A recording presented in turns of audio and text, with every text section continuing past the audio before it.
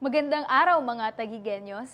Ako si SK Beng Maximo at ito ang Tagig Daily Report. Para sa araw na ito, ito po ang ating mga pag-uusapan. Para talakay ng mga ito, kasama natin ngayon ang head ng ating City Education Office, Dr. George Tizon. Salamat, SK Beng. Ngayong araw po, lunes, ikalabing lima ng Hunyo, ay balik pasada na po at balik operasyon na ang mga tricycle sa ating lungsod ng Tagig.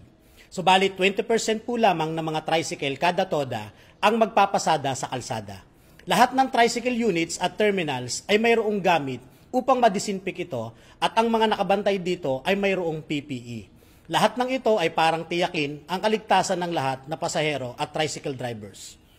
Ayon sa Resolution Number 1, Series ng 2020 na inilunsad ng Taguig City Transportation Regulatory Board, 20 pesos po ang magiging fixed fare para sa isang pasahero kada pasada o special trips lamang. Maaari lamang magsundo ng mga pasahero sa mga nakatakdang mga terminals. Tungkol naman po sa TODA distribution, natapos na rin po ang pangalawang wave ng distribution ng crisis assistance sa ating mga TODA members sa lungsod na umaabot sa halos 90,000. Nakatanggap na ang mga TODA members ng kanilang 4,000 pesos mula sa pamalaang lungsod bilang cash assistance. Bukod pa rito, kasabay din pong ibinigay sa mga miyembro ng TODA ang mga sumusunod.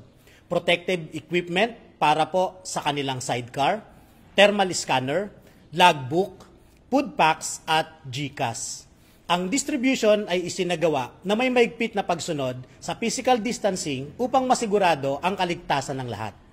Para naman po sa mga updates ng violation sa ating lungsod, as of June 14, 2020, may naitala po tayong violations ng curfew for minors na apat, GCQ violators na tatlo, at ito po ay may kabuang pito. Para naman po sa pinakahuling ulat tungkol sa ating Training and Enrichment Courses from Tagig Online Campus o TechTalk, ayon po sa TechTalk Online Campus Registrar's Report, mayroon na pong total enrollees na 2,517. 2,219 po dito ang total registered accounts issued with access code. At 1,142 ang mga users who already completed their courses. Samantalang 298 po ang for verification.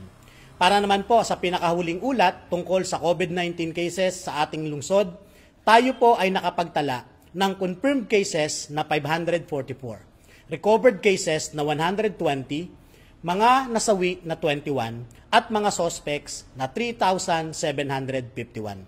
Maraming salamat po sa inyong masugid na pagsubaybay at manatili po tayong laging maingat at ligtas. Maraming salamat, SK Beng. Maraming salamat, Doc George Tizon. At maraming salamat po sa inyo sa pagsama sa amin ngayong araw para sa ating Tagig Daily Report. Para sa latest information at updates patungkol sa COVID-19, maaari po lamang bisitahin ang ating I Love Tagig Facebook page o di kaya naman pumunta sa website ng www.tagiginfo.com. Maraming maraming salamat po sa inyo at dito sa Tagig, magpatuloy tayong magbayanihan.